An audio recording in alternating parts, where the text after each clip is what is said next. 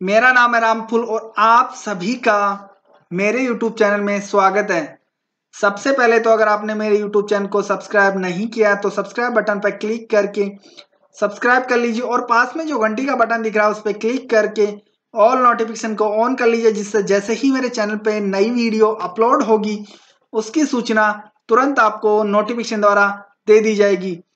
और वीडियो को लाइक नहीं किया तो वीडियो को लाइक कर लें और दोस्तों के साथ शेयर ज़रूर करें और कमेंट करके अपने विचार ज़रूर दें।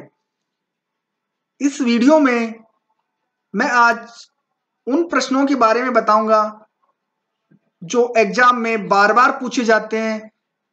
इन प्रश्नों को खास आपके लिए मैंने तैयार किया है। मोस्ट इंपोर्टेंट प्रश्नों को जो बार बार एग्ज़ाम में पूछे जाते हैं और इनके आने की संभावना बहुत ही ज़्यादा है। तो इनको एक बार आप रट लीजिए, पढ़ लीजिए, ताकि आप एग्ज़ाम में पूरे में से पूरे मार्क्स ला सकें और आपको कोई दिक्कत ना हो। तो चलिए, क्वेश्चन पे चलते हैं। पहला क्वेश्चन है, माही नदी किन राज्यों में बहती है? पहला ऑप्शन है, मध्य प्रदेश, राजस्थान, गुजरात। दूसरा ऑप्शन है, गुजरात, उत्तर प्रदेश, राजस्थान। मध्य प्रदेश, तीसरा ऑप्शन है पंजाब, उत्तर प्रदेश, राजस्थान, गुजरात। चौथा ऑप्शन है उत्तर प्रदेश, राजस्थान, गुजरात। इसका पहला ऑप्शन सही आंसर है मध्य प्रदेश, राजस्थान, गुजरात। अगले क्वेश्चन पे चलते हैं।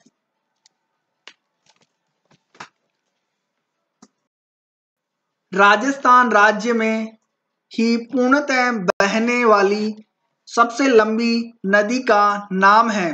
पहला ऑप्शन है चंबल, दूसरा ऑप्शन है लूनी, तीसरा ऑप्शन है बनास, चौथा ऑप्शन है माही।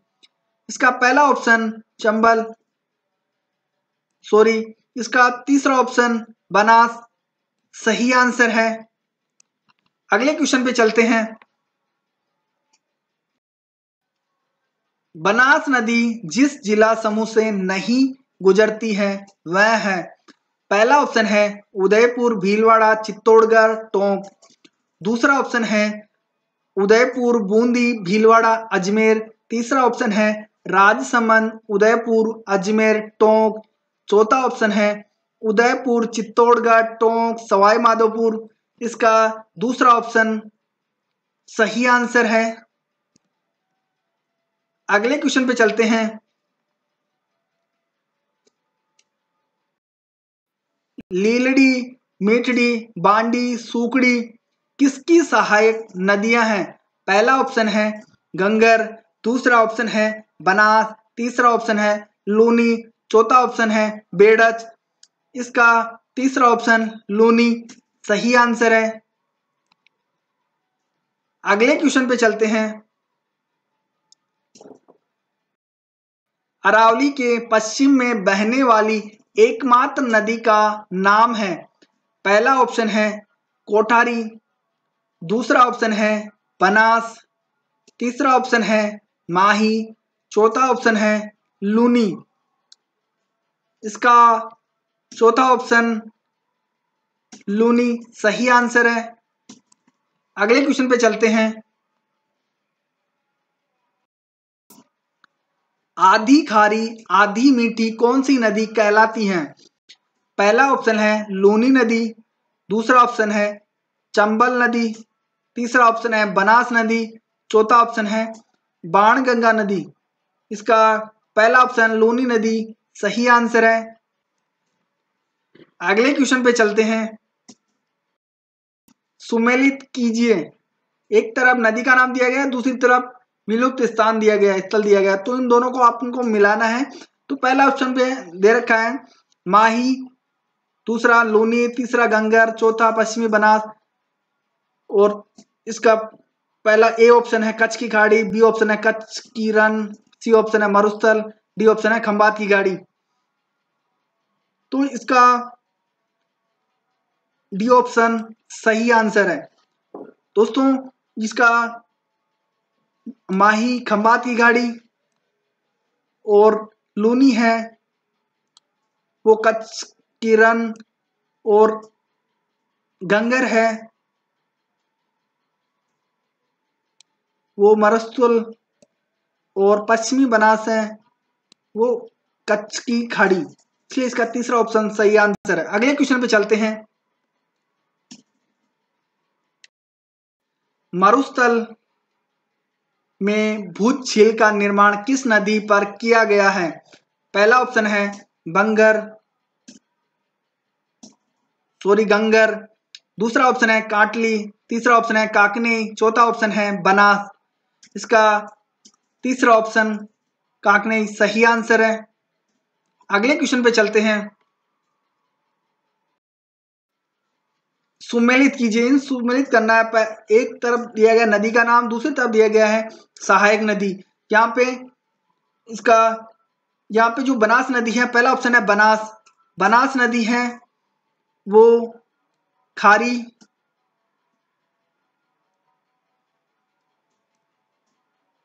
और जो लूनी नदी है, उसकी सहायक नदी है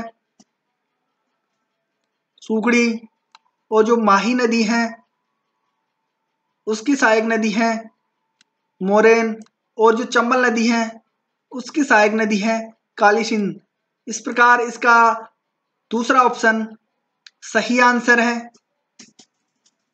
अगले क्वेश्चन पे चलते हैं।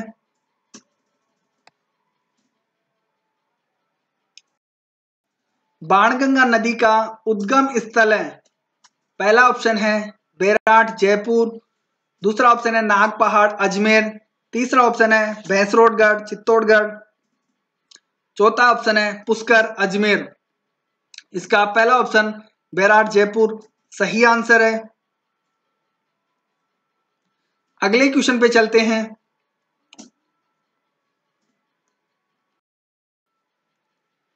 गंगा नदी के पाट को कहते हैं। पहला ऑप्शन है ताली, दूसरा ऑप्शन है नाली, तीसरा ऑप्शन है नाल।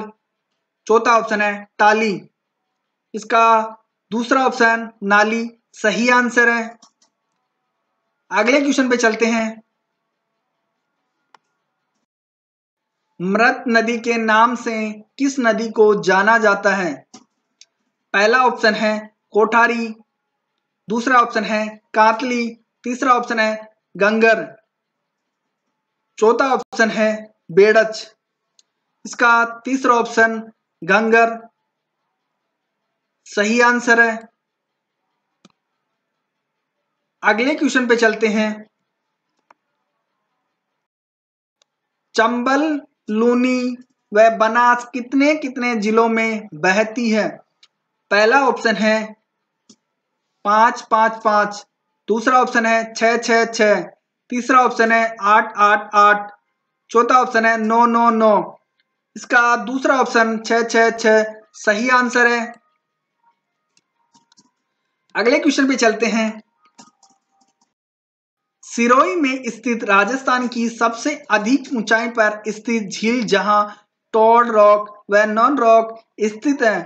पहला ऑप्शन है नक्की झील, दूसरा ऑप्शन है पंचभद्रा झील, तीसरा ऑप्शन है लूणकरणसर झील, चौथा ऑप्शन है उपयुक्त में से कोई नहीं। इसका पहला ऑप्शन नक्की झील। सही आंसर है।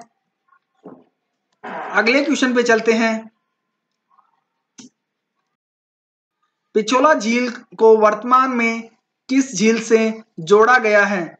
पहला ऑप्शन है राज्य झील। दूसरा ऑप्शन है जय समंद झील। तीसरा ऑप्शन है फतेह सागर चौथा ऑप्शन है उपयुक्त सभी। इसका तीसरा ऑप्शन फतेह सागर झील। सही आंसर है। अगले क्वेश्चन पे चलते हैं। निम्नलिखित में असुमेलित है।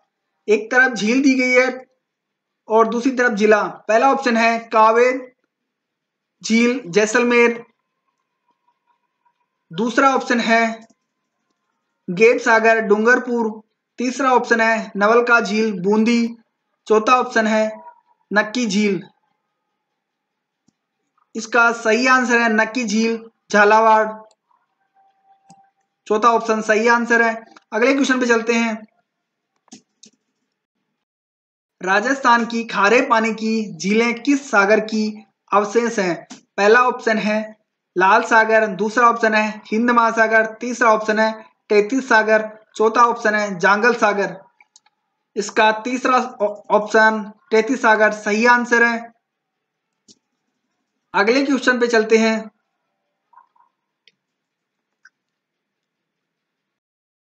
राज्य में खारे पानी की सर्वाधिक झीलें किस ज़िले में हैं?